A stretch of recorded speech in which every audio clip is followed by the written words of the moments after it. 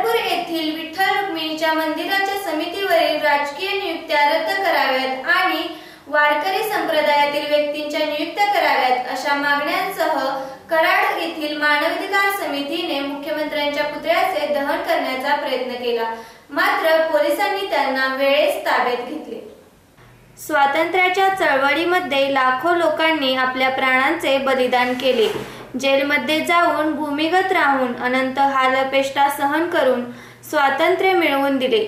सव्वीस जानेवारी एकोणीसशे पन्नास साली या देशात प्रजेची सत्ता आली. प्रजा या देशाची मालक झाली. परंतु जनतेला लुटणारे गोरे गेले आणि काळे आले एवढाच फरक पडला. आज खेड्यापाड्यात वेगवेगळे पक्ष आणि पार्ट्यांनी हौदोस माजवला आहे. लोकशाहीच्या पवित्र मंदिराचे अवलोकन केले असता भ्रष्टाचारी गुंड व्याभिचारी दहशतवादी माणसं पैशाच्या जीवावर पवित्र मंदिरात शिरू पाहत आहेत. म्हणूनच त्यांना वेळीच रोखण्यासाठी प्रशासनाला पत्रव्यवहार निवेदने दिली परंतु त्यांचे डोळे उघडले नाही.